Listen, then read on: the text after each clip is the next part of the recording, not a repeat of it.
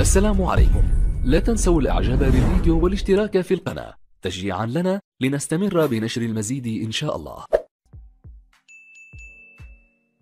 السلام عليكم أصدقائي. قبل أي شيء أرجو الاشتراك في القناة وتفعيل زر الجرس ليصلكم كل ما هو جديد في القناة. التربية تكشف عن سلسلة إجراءات وقائية استعدادا للامتحانات.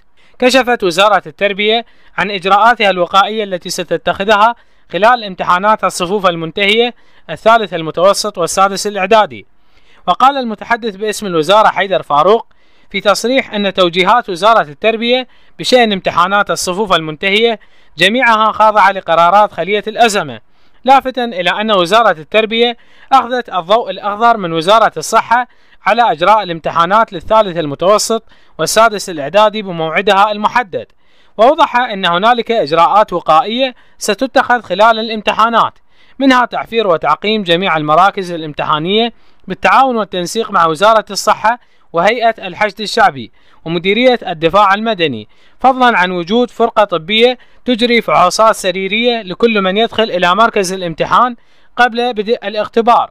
وأشار إلى أن هنالك توجيهات من قبل وزارة التربية حول خارطة جلوس الطلبة في القاعات الامتحانية الواحدة حيث تكون هنالك مسافة لا تقل عن متر واحد بين طالب وآخر على أن لا يتجاوز عدد الموجودين في القاعة الواحدة أكثر من عشر طلاب.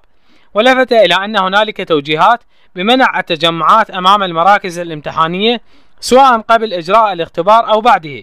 وبشأن الامتحانات التمهيدية للمتقدمين عن الامتحانات الخارجية أكد فاروق أنه كان مقرر إجراء الامتحانات التمهيدية في بداية شهر حزيران إلا أن زيادة الإصابة بالوباء العالمي في عموم البلاد دفعت وزارة التربية إلى تأجيل الامتحان إلى أشعار آخر ويحدد في موعد لاحق.